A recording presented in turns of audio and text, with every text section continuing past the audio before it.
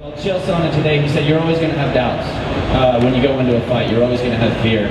And um, I can't remember who it was that said it yesterday, but uh, it was Chuck Liddell who said, never lose your confidence, no matter what happens, no matter what you're facing. And we just watched some video of you uh, with Liz Carmouche. She had you in that horrible neck crank. Your chin was like behind your shoulder. Um, I guess my question is, when you when you hit something in training or when you fight, you know, when you're in the in the cage and you're up against something, you know, when you have that doubt, like what do you draw on? Where do you where do you find that cornerstone of strength to like take that step forward?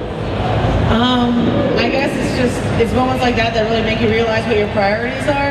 Um, you ever watch the movie Gattaca when they're like swimming out and the one guy was like, "How did you beat me?" And he was like, "Well, I didn't save anything for the way back." And in that situation, I just kind of I realized that I was willing I was willing to die to win. And there's no way I would ever tap out for a choke. There's no way I'd ever tap out for a neck crank. And I was just like, you know what?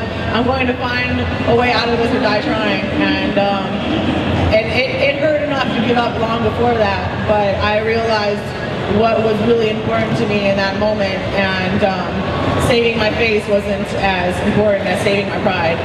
So I can't really say it was the most intelligent choice, um, but uh, I don't know. It's just, I guess it's a priorities thing. You just got to know what your priorities are. How'd it go?